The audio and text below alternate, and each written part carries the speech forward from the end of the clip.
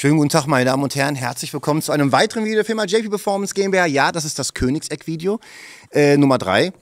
Doch ich habe mir gedacht, wir müssen ein bisschen was vorab sagen, denn das ist ein, ein cooles Video gleich, auf jeden Fall. Das erste Video auch und das zweite Video auch. Aber wir mussten ähm, aus den letzten beiden Videos gut 30 Minuten Material rausschneiden. Und wir hatten halt vorher gefragt, was wir alles drehen durften. Und dann durften wir es nachher doch nicht zeigen. Deswegen nicht bitte verwundert sein, warum redet er da nicht drüber, warum zeigen wir dies nicht und warum zeigen wir das nicht. Gedreht haben wir das.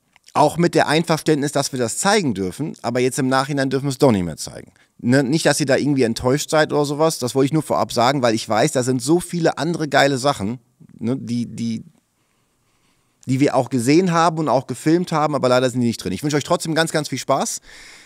Die Videos sind jetzt leider etwas kürzer geworden, weil wenn 30 Minuten fehlen, könnt ihr euch vorstellen, könnt ihr euch wirklich vorstellen, wie viel geiles Zeug da drin war. Also, tschüss. Please welcome CEO and founder of Christian Koenigsegg.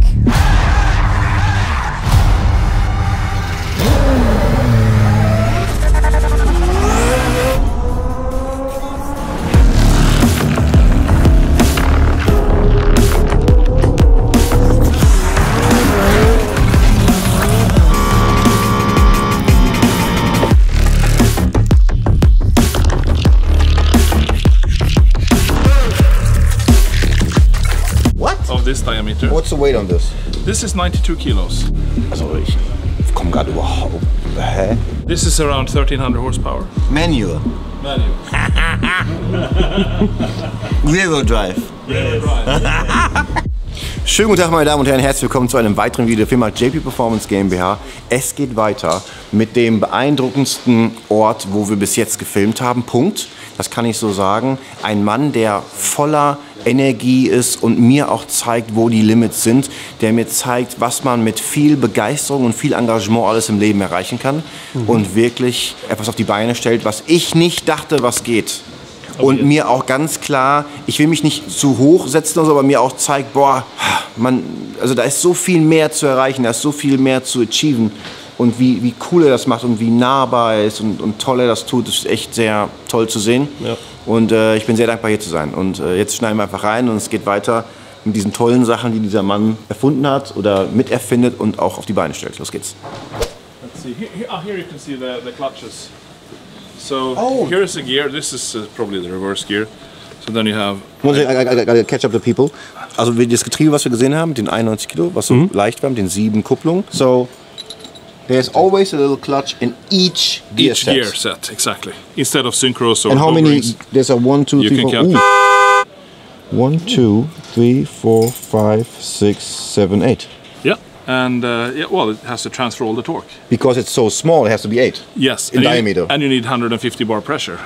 Mm-hmm. Start, these are test parts with temperature stuff on. But this starter motor, which goes inside, the hydraulic pump for high pressure. A- a- another one.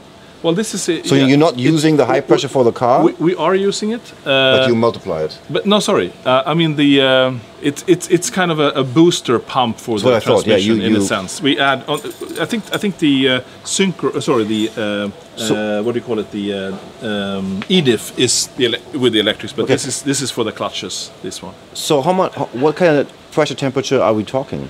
Temperature. Yeah, in, in the, only in the pressure system. Uh, I mean, we, we try to keep the gearbox under 130 degrees at all times. Degrees. 130 degrees Celsius. So these are the. Th- this is actually shaft. the the main shaft going into the uh, the engine, combustion engine. So Can I see? It? yeah, sure. And I guess this was driving. You take it apart to check Yeah, it. yeah. I mean, this is prototype. We've been running these for years. So test gearboxes. So when I see This all is this the engineering, closest to a flywheel we have. We try to make it as little as possible. It's Yeah, a starter ring. This is, this is yeah, Yeah, it's starter ring. Yeah. Not not for a V8 like this. No, no. So when I see all this engineering, I will I would love to know. You would not tell me, but you are working on crazy stuff going on in the future. I Of course. because this is already there in the testing, in the making. So there must be completely different stuff going on. Uh, this is, uh, for example, the front uh, bevel gear for the Gemera. So we have torque vectoring uh, clutches. There, there, there is no differential. It's just a bevel gear, pinion and crown wheel. And then you have these clutch packs going out, similar to that gearbox. So we can torque vector. It's amazing how the whole car industry and also how all the customers are used to the thinking of a Porsche, Audi, Mercedes, BMW. Right. If somebody comes along with the financial potential to do this and just thinks of a solution Right. and just makes it work, you see all these different ideas where you think, well, hmm, it's a totally way different way of doing it, but Yeah, so this is the hydraulic control unit for the torque vectoring front differential. It's a test one. So yeah, you can you can do a lot if you put your mind to it. I'll show you something in here. This is uh, those are some of our own controllers for the dyno. But here here is our uh, one of our lamps, inverter lamps. Watch out, it's high voltage in here, so watch out. This is our David inverter, 800 volt inverter, six phase inverter, and this is uh, one of our first electrical motors, the Quark. So this this uh, this motor has uh, six 500 newton meters. uh, sorry, 500 kilowatt. You and make it? six. Yeah, we make it here. 600 kilowatts of power. So Then you make have- also the electro motors. Yes, and inverters. The smallest, most powerful inverter in the car industry, and the smallest, most powerful e-motor as well. We will see the insides of it. I will show you what it looks like on the inside, and battery packs as well. I'll show you. How From we the develop- old Nokia handies, I guess, right? So here we have uh, development engine dyno. One. Yeah, for for development we have one. So you use air-to-air intercool? No, you use water intercoolers. Well, on this we do both, but here we have like actually these are air to air with water to avoid fans. So we weld this on and put water. yeah, yeah. But you use the, the flow. Yeah, I mean the, uh, that's flow is the same, Yeah, but the- yeah, exactly. Just a different cooling media on the outside to make it easier in here. Then we can regulate the But this, temperature. this was running not long, too long yeah, ago. yeah, we run it every day most, most of the time. That's, Sixteen hundred that's a pretty big exhaust housing. Uh, it is. You don't want a lot of back pressure with uh, uh, I know, running these RPMs. and and with uh, uh, with pump gas. No, you don't want that. Look at the wastegate installation; it's pretty interesting. That's a 3D printed Inconel exhaust uh, manifold. Of course it is. And where is And then it's uh, that is done. Yeah, it's designed here, it's printed elsewhere. Yeah. Here you have a completely different intake as well, as you can see. I saw the intake manifold itself is very, very thin and very small. How come?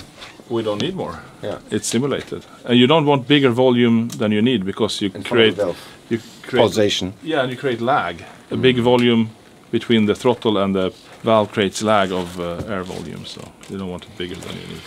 All of these controllers are made in-house. This is ECM. This is uh, uh, for body controllers, but I think we can make this whole video easier if you say what we don't do. Exactly. Okay, so I will be quiet exactly. so here you're trying to watch the um, yeah, the oil aeration. the dry sump? Exactly. how it how it How it behaves, operates and different RPMs and temperatures and oil types. Exactly. Are you proud?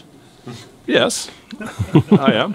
When you started this company in '94, Yeah. I mean, I get this question also, but you thought of this? I just thought I wanted to build cars, so any any any outcome was a possibility. This Mm. was one of them, I think. So This was the best case. one of the better. One of the other one. yeah. So you just keep on going step by step, one Mm. Yes. foot in front of the other, and things happen if you keep on working hard, I guess. So uh, there's. So this that climate. you saw there will be in here, Yeah, Okay. and this is a bigger one. that's nice and cold. So here we can do full power tests and du- uh, durability testing and things like that. Th- th- This this is quite interesting. I mean, this is uh, for, from a Jesko. Uh, look at the size of the bearing. Yeah, it's huge. So it's good for high speed because with a smaller bearing with downforce you can get a lot of heat. Second, it's good for uh, uh, stability. You don't get any Yeah, yeah. unwanted flex. So, oops, get out. And it's of course Wow, very close. lightweight. It's hollow in here. Can I see it? Yeah, sure.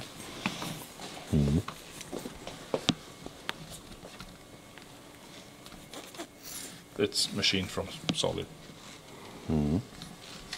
But hollow. As hollow as it can be. Uh, now, okay, there is no car in here. So we, we can walk inside. This is the control room. Our dyno room f- with the wheels on. four-wheel, four-wheel torque vectoring. It smells pretty nice in here. Yeah. Citrusreiniger. Don't know what they've been doing. Uh, it's kind of being finalized. Uh, they probably cleaned something, but but we have been running here for a couple of weeks now, and uh, this, as far as we are aware, is the most extreme four-wheel hub dyno in the world because we can do up to 3,000 horsepower continuous, up to 550 kilometers per hour. What you need. Exactly. Yeah. Exactly.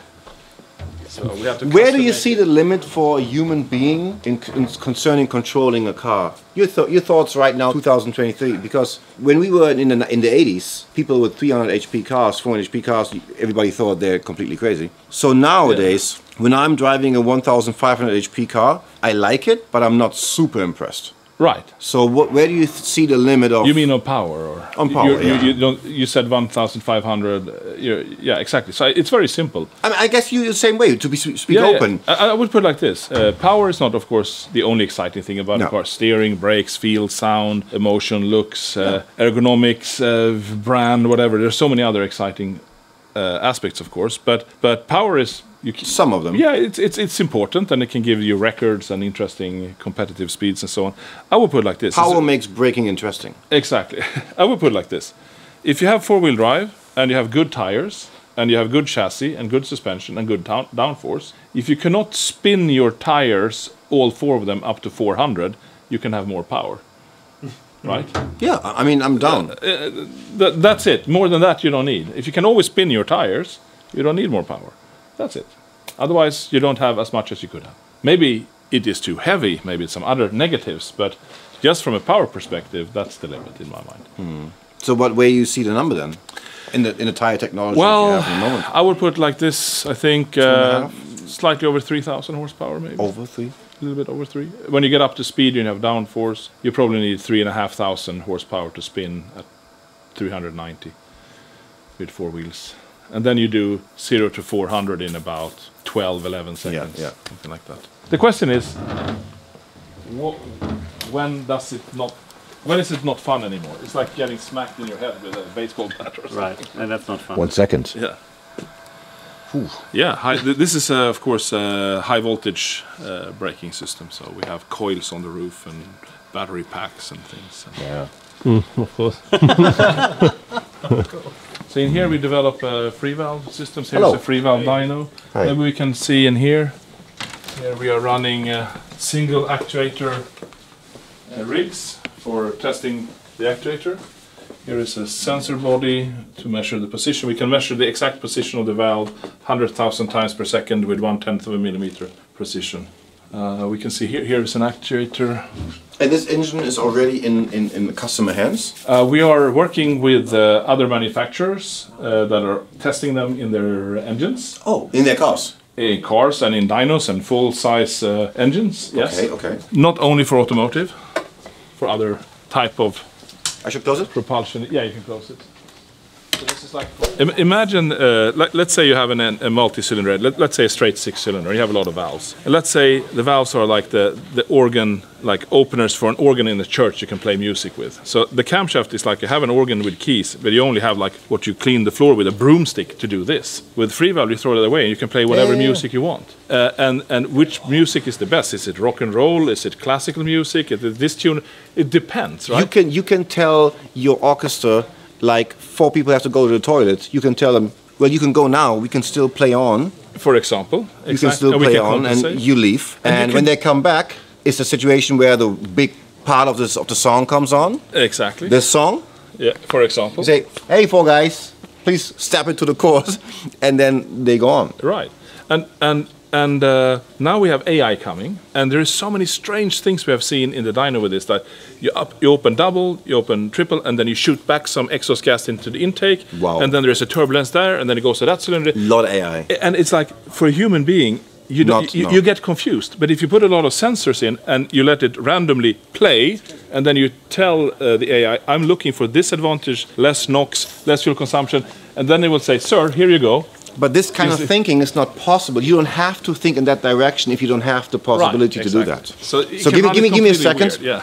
Also das ist so interessant, das muss ich mal auf Deutsch eben sagen. Sie sind in der Lage, das Ventil einzeln zu steuern. Und wenn du diese Technologie hast, kommst du in einen ganz anderen Denkprozess, wo du in der Lage bist, Sachen zu erforschen, die gar nicht möglich sind. Sie können zum Beispiel das Ventil schubweise auf und zugehen lassen, um eine Rückpulsierung in die Ansaugbrücke zu bekommen, was eine Turbulenz erzeugt und dann wieder auf einer anderen Seite, weil du hast ja eine Ansaugbrücke und auf einer anderen Seite wieder einen Stoß zurückgibt, was dann für äh, Abgasnorm oder für schwäches, äh, stärkeres Ansprechen für den Turbolader dienen kann. Das bist du, du bist einfach nicht in der Lage. Wenn du eine Nockenwelle hast, bist du technisch nicht in der Lage, das zu tun. Du bist immer gebunden an deine Reihenfolge. Die Nockenwelle geht in einem Kreis durch und wenn dieses Ventil sich nicht öffnen soll, dann das geht nicht. Die, es wird sich öffnen. Was du machen kannst, Variocam von Porsche zum Beispiel, kann halt das Timing ein bisschen variieren, aber es wird sich immer noch öffnen. You're Und da kannst du einfach wirklich sagen, aus. you're still forced, even with, I mean, there are very nice variable camshafts now. said. Absolutely. You can vary like this, you can have some lifters. and Porsche, the Porsche system is very great. but you're still dependent on the knock. No, no, and, and the chain. For example, w- w- wenn du jetzt, wenn das jetzt dein Motor ist als Länge, ja, dann hast du 1, 2, 3, 4 Zylinder. Mhm. Dann hast du ja die, die, die Räder drauf und den Kettenkasten. Mhm. Das ist, Yeah, exactly. you're losing 50% Yeah, of the size thing. of the engine. Yeah, this, true. this goes off.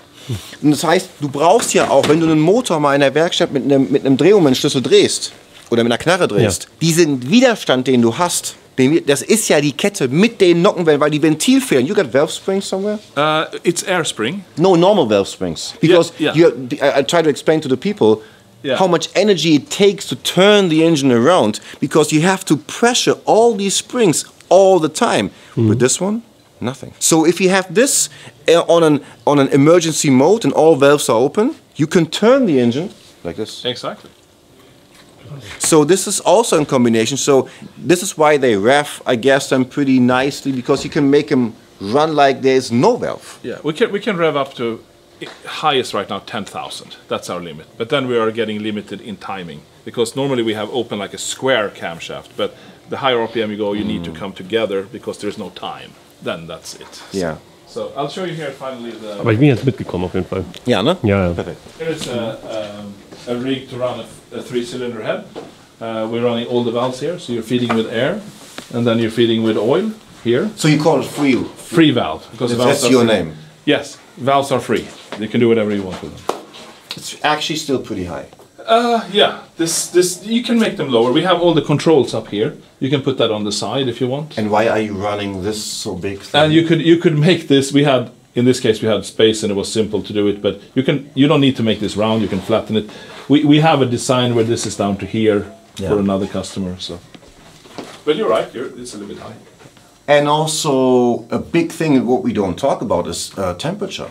Right. Temperature in the valves itself. Yeah. Uh, so I mean, you're above the water jacket up here. That's what, what I'm saying. Yeah. Because you can control the temperature from the valve pretty high. And also in emergency cases, you can save a valve if you have so many sensors. Right. Because otherwise, sometimes you don't lose all valves at the same time. You lose one cylinder. Right. And one pair of valves that burns down. Right. And if you have the right sensors, then you can just tell them, well, we got a problem on the six. Shut that down. Let them cool- let them cool down. Yeah, absolutely. It- it- the freedom is almost endless. Free valve. but yeah, let's go up to the engineering office. Can, can we have a small look? Yeah, of course. No? Regera, hybrid, direct drive.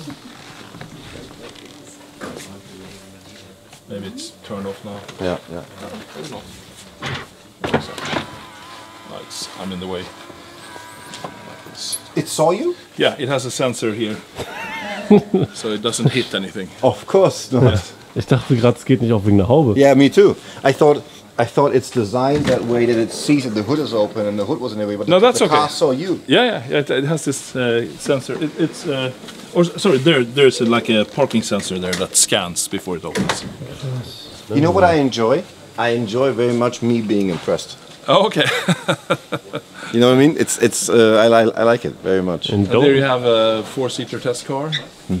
with the s- three cylinder. Uh, that one has the V8 actually. And that's a 22 inch carbon fiber wheel. Uh, front uh, 21, rear Yeah, 22. yeah. This is without an electric engines also. Uh, also electric engines. yeah. also, so the power is A lot. the highest we've ever made by a big margin. one eighth. Maybe more.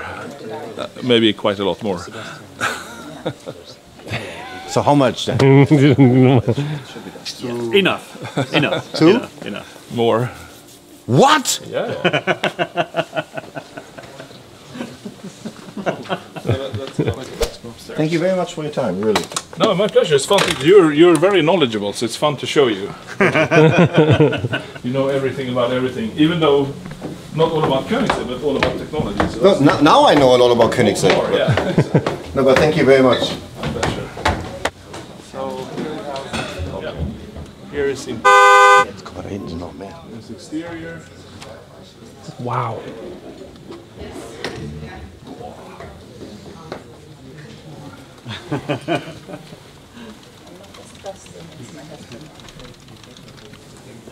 I'll show you our test track. yeah, the, the Jesko became Top Gear Hypercar of the Year last year. Okay. So that, and then we had the Agera winning it 10 years earlier. This is an active uh, airport here. Mm -hmm. And then in that direction you see a road going down there. That's Yes. our test track. That's uh, we shut off an old runway with some roads in and out, and that's where we will drive later today. It's 1.6 kilometers long and 50 meters wide. And then we're going to make a test track behind here as well. We're just cleaning this area up after we built that factory. Because corner is getting more and more interesting for you. Uh, it's always been interesting No, I know, but I think the brand was very It's much known for something for power and acceleration and top speed. Yeah. Of JP Performance. So here is simulation department. We have several supercomputers for simulating uh, uh, CFD, CAE, crash, uh, bending stiffness, uh, things like that. E-motor, E-flux, magnetics, all these things we simulate. Und wir denken uns, wie kriegen wir einen R6-Motor? Äh, Meine Güte, ich traue mich gar nicht, ich traue mich gar nicht zu erzählen, was wir machen. Here we have some pedal boxes. That's right now a issue on the project car that we are building, but I'm not I'm not talking about it right here. No. Yeah. Transmission software. So that's about it. Then we have this other facility where we Oh, cable harnesses. We have the e-motor production facility and uh, pre-assembly of the Jesko chassis, which is 10 minutes away from here. If you have time, you can go. It's a very cool place as well. But first of all, I would really like to thank you Yeah, very, thank you. very, very much for your time. My pleasure. It was uh, I'm doing this now for I'm doing cars for over 20 years. Right. And it was probably the most uh, uh, extreme and nicest experience I had in a car factory so far. Oh, and thank you. most impressive too. And I really have to say thank you. Well, appreciate it. Very, very, Thank you for coming. yeah, and very uh, happy to show you around. And Yeah, thank you very glad much. you liked it. Yeah. and I'm really uh, I'm really looking forward. Maybe we see us again. Absolutely. Yeah. Oh, you will. Welcome back. Yeah. Yeah. Definitely. Then we Ja, go also out wir, äh, wir essen jetzt was. Äh, ich will mich auch bei euch bedanken. Wir haben daraus zwei Videos gemacht. Äh, Das heißt, wir werden jetzt gleich nochmal ein zweites Hallo machen, Ja. wo wir dann einfach dann dran schneiden werden. Weil wie viele Minuten sind das? Boah, wir haben jetzt, ich glaube, Stunde 20 aufgenommen. Okay, also wir machen daraus zwei Videos, also wir machen gleich noch ein Intro. Trotzdem möchte ich mich bei euch auch bedanken. Ähm, ihr wart dabei. Wirklich einer der beeindruckendsten Ingenieure, die wir so haben. Also es ist wirklich ein Wahnsinnsunternehmen äh, mit sehr, sehr viel Detail und äh, nichts geklaut. Also wirklich ganz, ganz viel denken, denken, denken, denken. Jetzt habe ich eine Sache. Ja. Das war, wir beide waren ja auch bei Hegemann, wo jetzt auch schon krass Kann man nicht vergleichen. Nein, schon wieder nicht. Gar nicht. Schon wieder nicht. Nein. Wir haben Hegemann schon gesagt. Hegemann, Hegemann ist schon wirklich, äh, wirklich toll. Ja. Aber das, das, das, nein, das ist äh, was anderes hier. Und auch überhaupt nicht. Äh, äh, Nein, nicht böse gemeint. Nein, nein, nein, nein, nein, gar nicht. Aber es ist halt einfach die Wahrheit. Es ist halt Ja, ja, ja, klar, das wissen die von Hegemann aber auch. Ja, ja, also, da bin ich mir ganz sicher. Ähm, so, ähm, ich bedanke mich und echt geil. Tschüss.